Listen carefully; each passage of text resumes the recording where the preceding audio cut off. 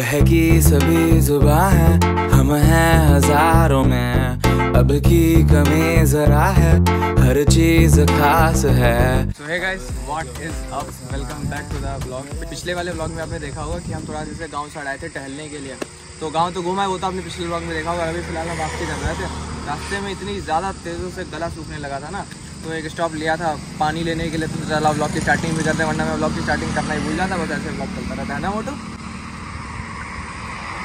हाँ। मोटू ने ये जो हाँ बोला है ना बहुत सोच समझ के बोला है। आप लोग सोच रहे थे पहले सोचता रहा बोले तो बोले क्या? फिर बोला है हाँ। पानी हम लोगों ने पी लिया और टाइम होने जा रहा है पाँच बज के नौ मिनट। यहाँ से हरदोई तक पहुँचने में वही दस मिनट लगेगा। गुनगुन की ट्यूशन की छुट्टी भी होने वाली है तो उसको भी उधर से ले लेंगे। सारे काम करते हुए निकल जाएँगे। मतलब समझ लो गुन्नू को छोड़ा था हमने चार बजे और उसके बाद डेढ़ घंटे के अंदर पूरा गाँव टहल भी लिया और वापस भी जा रहे हैं। वाह ग्रेट सक्सेस चाहे ज़िंदगी?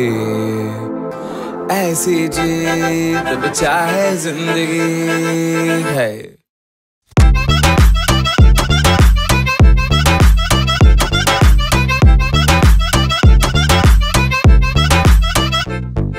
यार, वहाँ गाँव से तो आ चुके हैं। मोटू को उसके घर पर ड्रॉप कर दिया, गुनगुन दीदी को भी ले लिया। गुनगुन दीदी फ़िलहाल यहाँ पे मोमोज पैक करवा रही हैं। मोमोज नहीं sorry french fries french fries खाने हैं उनको। तो उनके फ्रेंच फ्राइज पैक कराते हैं, फिर घर चलते हैं। और आज ना शायद हमको घर भी जाना है अपने। तो फाइनली यार, घर पहुँच चुके हैं और मैं आपको एक चीज़ दिखाता हूँ, हमारी गली की हालत देखें।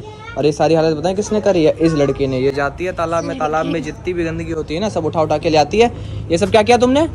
हैं? जानगी डांट पिटने वाली है, जा रही इंद्री क्या किया तुमने सब? हाँ हाँ समझ गए। इन्होंने किया, पता चल जाता है। तुरंत ही कान झुक जाते हैं अगर हल्का सा भी डांटो अगर इनकी गलती होती है। फ़िलहाल टाइम हो रहा है पूरा आठ। व्लॉग मैंने पूरा अपलोड कर दिया है। नौ बजे लाइव होगा, एक घंटा प्रोसेसिंग में लग जाएगा। तो अभी मैं जा रहा हूँ मम्मी को घर छोड़ने के लिए। एक्चुअली आज ना हमारा सबका घर जाने का प्लान था। हमारा सबका क्या खाली मम्मी जा रही, जाने वाला तो मैं भी था बट मेरा व्लॉग अभी सिर्फ़ और सिर्फ़ अपलोड हो पाया है। तो मेरे को वापस आना होगा, सारे अभी थंबनेल भी बनाने, इसीलिए मैं तो आज घर में जाके नहीं रुकूँगा, सिर्फ़ और सिर्फ़ मम्मी रुकेंगी। तो चलो जल्दी से मम्मी को छोड़ के आते हैं और फिर थंबनेल भी लगाना है। मतलब बताओ व्लॉग के चक्कर में वहाँ से यहाँ आएँगे, फिर ये वो करेंगे फ़ोन में बैटरी भी नहीं है। एक्चुअली एडिटिंग करता रहा, फिर रेंडर किया तो उसमें बैटरी बहुत जल्दी खत्म हो जाती है ना। नहीं अच्छा नहीं किसी के साथ वहाँ पे खेल रही यहाँ आ गए हमारे पीछे पीछे और मम्मी जी भी आ रही होंगी तुम भी जाओगे? चलो भैया मम्मी जी आ गए मम्मी जी को जल्दी से छोड़ के आते हैं बैठिए बैठिए। फाइनली यार रीच होम और पता है मम्मी इतनी होशियार है मैंने रास्ते में मम्मी से पूछा मम्मी फ़ोन रखा आपने? नहीं रखा? कह रही हाँ रख लिया। और आज जैसे आधा रास्ता पार किया घर से गुन्नू की कॉल आ गई। गुन्नू बोलने लगी कि फ़ोन घर ही पे भूल गए। तो आधे रास्ते में मम्मी को उतारा फिर से अपना रियलमी वाला फ़ोन लेके आया तो ये एक फ़ोन मम्मी के पास रहेगा ना। दुगना दुगना दोगना पड़ गया और फ़ोन में भी दो परसेंट बैटरी। इसलिए ब्लॉग को भैया रोकते हैं बिकॉज़ फ़ोन में सिर्फ़ और सिर्फ़ दो परसेंट बैटरी अभी घर जाके चार्ज करेंगे, फिर थम हमने लगाएँगे डिस्क्रिप्शन डिस्क्रिप्शन लिखेंगे। भैया बहुत काम रहता है। भैया यार डेली ब्लॉगिंग में इंसान जूझ जाता है। मतलब खुद की लाइफ भी होती है ब्लॉग भी करना है, और भी सारी चीज़ें देखनी है। फिर कोई बात नहीं है सह लेंगे थोड़ा फ़िलहाल। अपना कमरा देखो दो तीन महीने से बंद था, काफ़ी ज़्यादा गंदा गंदा हो गया तो मम्मी इसकी साफ़ सफ़ाई करेंगी, बाकी कल मैं आऊँगा यहाँ फिर।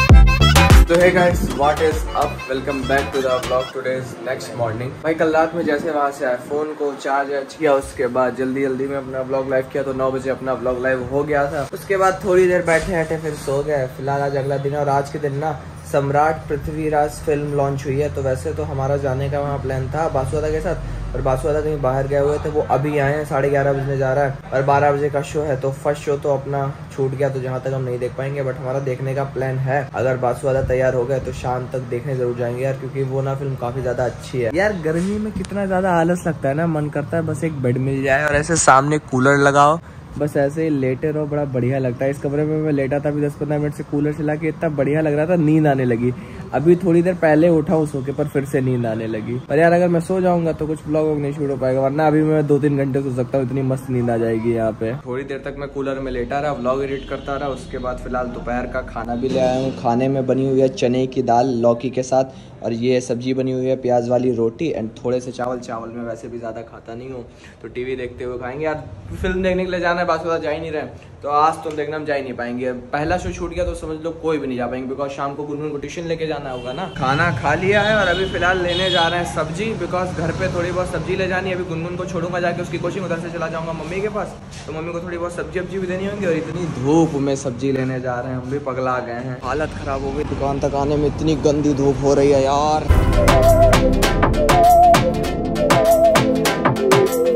इस लड़की का कोचिंग का टाइम हो रहा है ठीक है? और ये इतनी ज़्यादा बदतमीज है ये अपनी जगह देखो इस समय मैगी बनवा रही है।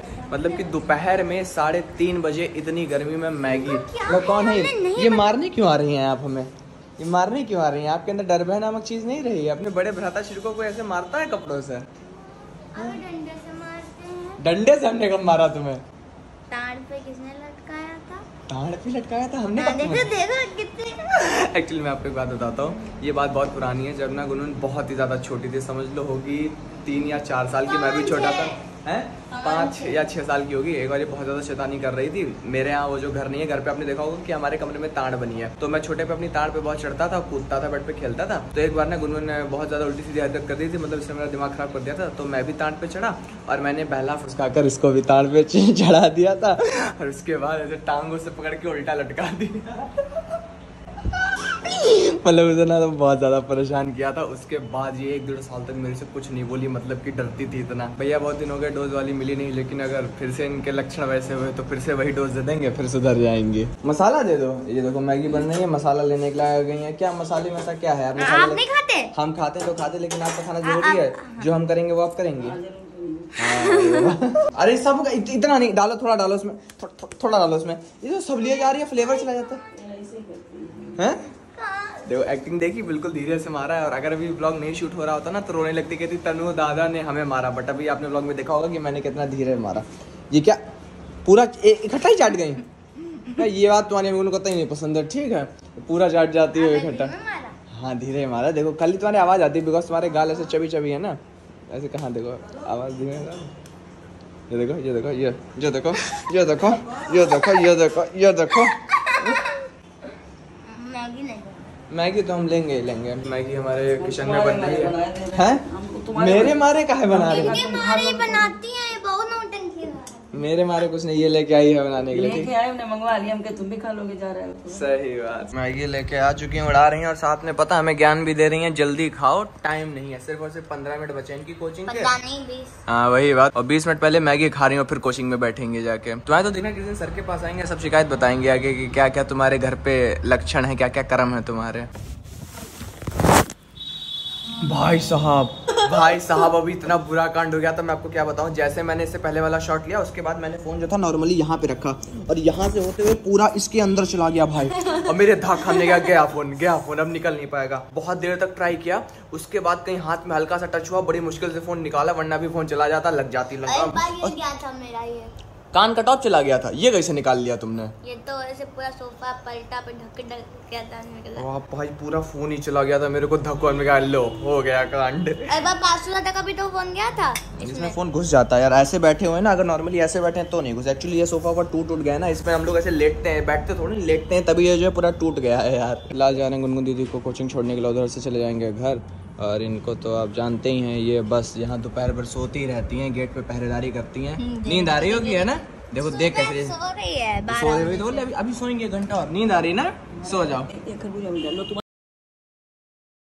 फाइनली यार घर पहुँच गए, सारा सामान लेकर और पता है, इस सामान में कि खरबूजा डाल दिया था मामी ने। जाते समय इस खरबूजे को मैं इतना बचा बचा के लाया हूँ। तीन या चार बार तो ये गिरते गिरते बचा। अकेला था तो मैंने इसको आगे रखा, पूरे झोले को फिर बाइक चला के लेके आया हूँ। ये बच गया खरबूजा गिरते गिरते लाल मम्मी ने जो है पूरा कमरा हमने साफ़ वाफ कर दिया। सो रही थी जब हम यहाँ आए थे। सर फाइनली घर तो पहुँच गया। और अब ना मेरे को आपसे एक बात करनी थी कि आप में से बहुत सारे लोग होंगे जिन्होंने हमारा चैनल सब्सक्राइब कर रखा होगा खूब ही सारे तगड़े तगड़े ट्रैवलिंग व्लॉग्स देखने के लिए, खूब सारी तबाही व्लॉग देखने के लिए।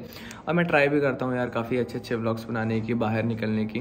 बट यार अभी कहो कुछ भी अभी मैं 18 प्लस भी नहीं हुआ हूँ तो छोटा ही हूँ ज़्यादा। मैं घर से बाहर भी नहीं निकल सकता ज़्यादा दूर दूर भी नहीं जा सकता। पर हाँ जब भी फैमिली का कहीं प्लान होता है तो, तो मैं जाता ही हर जगह फैमिली वालों के साथ जाता हूँ तो वही भाई मेरे को बस यही आप लोगों को बताना था कि अभी जब तक हम छोटे से बच्चे हैं ना तब तक आपको ऐसे व्लॉग देखने को मिलेंगे। मतलब ज़्यादा ट्रैवलिंग एवलिंग नहीं हो पाएगी जो दूर दूर वाली ट्रैवलिंग ट्रैकिंग होती है। बट ऐसा नहीं कि कभी नहीं होगी। अभी यार देखो मेरी छोटी सी एज है घर वाले भी कहीं निकलने नहीं देते बिकॉज़ सिंपल सी बात है भाई छवि छोटे बच्चे अभी मेरे को क्या ही पता है। तो बस यही बताना था कि आप में से बहुत सारे लोग होंगे जो बोलते हैं कि कहीं जाते नहीं हो, ये वो नॉर्मली लाइफ दिखाते हो। तो भाई मेरी नॉर्मली लाइफ यही है और अगर आप लोगों को पसंद आती हो तो ही आप लोग देखिएगा। वैसे भी आप लोग इतना ज़्यादा प्यार देते आ रहे हैं। तो इतना सब ज्ञान देने का हमारा मेन मोटिव यही था कि हमारी बिल्कुल सिंपल सी लाइफ है, जो कि हम आपको व्लॉग में दिखाते हैं। हाँ अगर हमारी लाइफ में कुछ होता है, कहीं हम ट्रैवलिंग एवलिंग करते हैं तो वो एक्स्ट्रा चीज़ हो जाती है, वरना तो आपको यही देखने को मिलेगा। तो सह लेना थोड़ा, ठीक है? और रही बात ट्रैवलिंग की तो अभी गर्मियों की छुट्टियाँ तो चली रही हैं। हम लोगों का प्लान तो है काफ़ी जगह जाने का, जैसे कि मैंने कुछ दिनों पहले इंस्टाग्राम पे एक पोल किया था। तो उस पोल में मैंने ये पूछा था कि आपको कहाँ के दर्शन करने हैं? पहला था अयोध्या, दूसरा था वाराणसी। तो हमारा और मामा जी का ना प्लान है अयोध्या या वाराणसी जाने का। अभी मतलब कन्फर्म नहीं है कि दोनों में से कहाँ जाएँगे बट ये जल्दी कन्फर्म होगा। मामा की ना कचेरी की छुट्टियाँ होने वाली हैं, समझ लो बस हो गई हैं।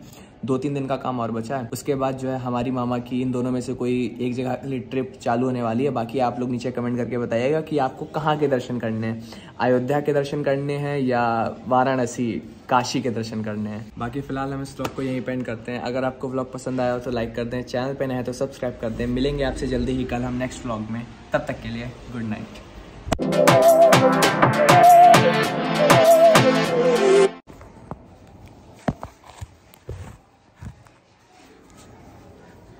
और हाँ